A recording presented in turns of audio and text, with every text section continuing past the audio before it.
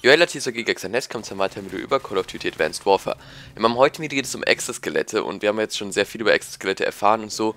Ja, aber heute geht es nicht wirklich um, was die Exoskelette so machen, sondern wie sie aussehen. Ähm, wir haben ja schon mal erfahren, dass wenn man Call of Duty Advanced Warfare vorbestellt, dass man dann ein goldenes Exoskelett als Vorbestellerbonus bekommt.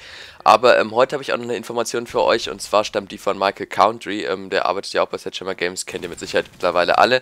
Und ähm, der hat gestern gepostet, gestern war ja Deutschland gegen USA und da hat er ein Exoskelett Exoskelett gepostet mit der USA-Flagge quasi, also so ein USA-Exoskelett. Und ähm, ja, das ist quasi schon so ein kleiner Teaser, würde ich sagen, weil ich bin mir eigentlich ziemlich sicher, dass das auch wirklich in das Game reinkommt und nicht, dass sie das einfach so ähm, editiert hat. Und das ist also, man kann wirklich, denke ich, sagen, dass es auch wirklich in, ähm, in Call of Duty Advanced Warfare reinkommt. Und ähm, ja, das zeigt auf jeden Fall, dass die Exoskelette wirklich sehr stark ähm, personalisierbar sind, also dass es da wirklich sehr viele unterschiedliche Sachen gibt. Ähm, und ich bin auch mal gespannt, ob das jetzt wirklich von vielen Ländern ist, also ob es das auch von Deutschland gibt oder so, oder ob es das jetzt nur von USA gibt.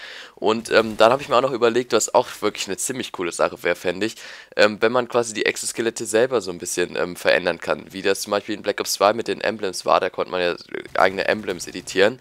Und ähm, wenn es das dann für Exoskelette gäbe, das fände ich auf jeden Fall ziemlich cool. Also das wäre wirklich, das wäre richtig cool, finde ich.